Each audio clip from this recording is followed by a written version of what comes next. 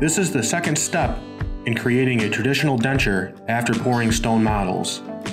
Once the lab receives an articulated bite block, a wax try-in can be made. The bite block obtained important information regarding the vertical dimension and centric relation of the jaw.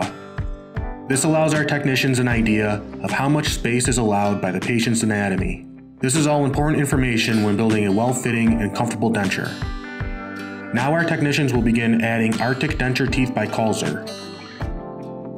Lab techs rely on decades of experience to understand how to best place the teeth to maximize aesthetics and performance. It is important that the denture allows a patient to chew comfortably and speak clearly. Once the teeth are set, the wax try-in is further sculpted to provide a more natural look. The wax try-in is then sent to your dentist so they can check it for fit and phonetics and make any necessary adjustments before a cast is made and the acrylic is pressed into place. Consistent quality service, this case and every case, at Utica Dental Laboratory.